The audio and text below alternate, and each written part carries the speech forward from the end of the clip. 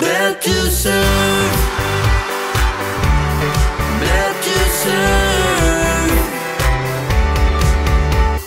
Bagong umaga, bagong simula, may bagong pag-asa.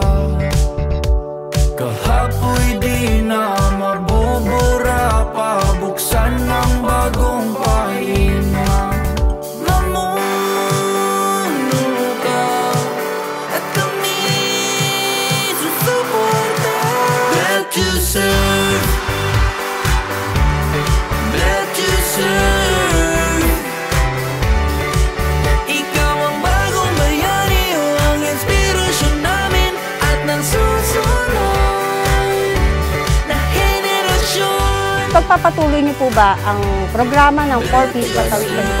Saka yung masusolusyon yung paghihirap ng mga Pilipino. Isang masiglang pagpupugay ang aming maiaalay. Salamat sa bigay mong pag-asa. Ang talaga yung pangangailangan ngayon ng mga Pilipino. Meron ba kayong programa kabuhayan tulad sa aming manghirap? soon.